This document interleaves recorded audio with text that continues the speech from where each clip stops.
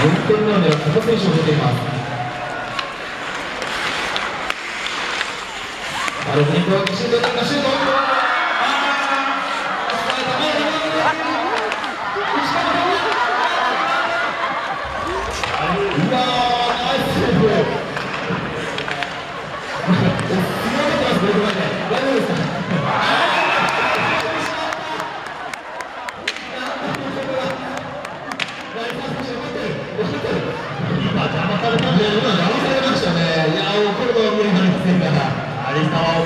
トしかしこれ得点2度が出ました。ボリームスの6人攻撃成功。やはりしょうがないちょっとね選手が突っ込んじゃってスティックも取れない回らないという状態になってましたね今ね